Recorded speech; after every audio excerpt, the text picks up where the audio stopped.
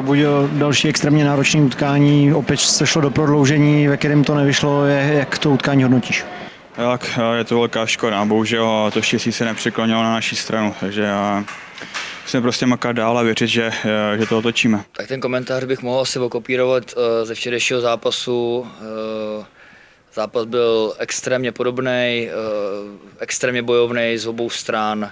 Velmi důležitý bylo obrání oslabený, dlouhý, který jsme tam měli a nepomohli jsme si v přesovkách tak, jak bychom si představovali. Na druhou stranu jsme, jak jsem říkal, ubránili i spartanský přesilovky, takže zase si myslím, že remíza spravedlivá po 60 minutách. Oni mají hodně střel, ale my máme vyloženější šance a prostě bohužel nevím, sem chybí trošku víc štěstí v tom zakončení, nebo nevím, ale každopádně jsem pišný, jako co tam zblokujeme střel na, na, na oslabení a i během 5 na 5 prostě, tak já věřím, že se to otočí a v Liberci budeme mít víc štěstí zase.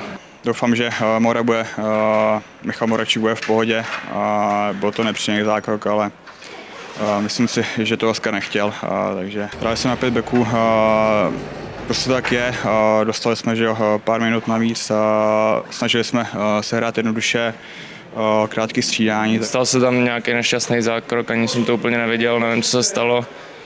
A pak ani nevím, co se stalo v tunelu, viděl jsem, že kluci tam mají nějaký problém, tak jsem tam šel taky pomoct a dopadlo to, jak to dopadlo. No. Rozhodčí tam vyhodili po dvou hráčích na každé straně, takže myslím, že tím se toho dost uklidnilo a Vstoupili jsme přesilovkou do třetiny, myslím, a bohužel jsme inkasovali a pak jsme se rovnali a chtěli jsme vyhrát. No a jak říkám, prohráme 2-0 jdem do Liberce. V tom počtu, ve kterém jsme dohrávali, až heroický výkon z naší strany potrestala uh, taková ta zabijac, takový ten zabijácký instinkt eh, v závěru eh, té poslední akce a, a bohužel eh, jedeme domů za stavu 0-2.